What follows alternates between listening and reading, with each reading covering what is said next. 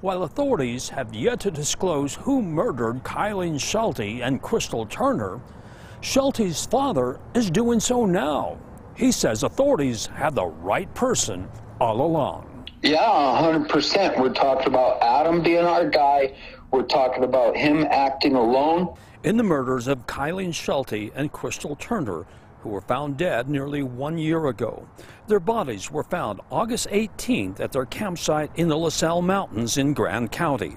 They were shot to death. Earlier this summer, the sheriff's office named Adam Pinkowitz a suspect in the case. He committed suicide last September, but to date have not named Pinkowitz as the killer. After talking with law enforcement recently, Kylie's father, Sean Paul Schulte, is convinced Pinkowitz murdered the women. The confidence it's the way that law enforcement and Unified is speaking with me now. They can't tell me what they have, but they can tell me that once they do close the case and they do hand all the files over to me, I'll be shocked at the preponderance of evidence.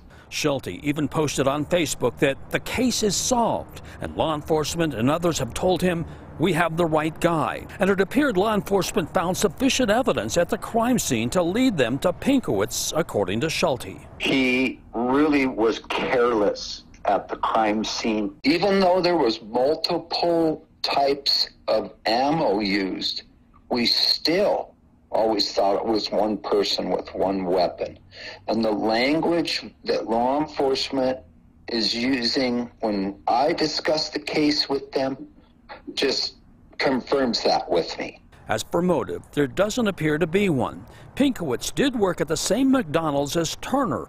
And there was one incident where he was told to leave her alone. It, it seems more like there's no good reason for what happened. He's severely mental.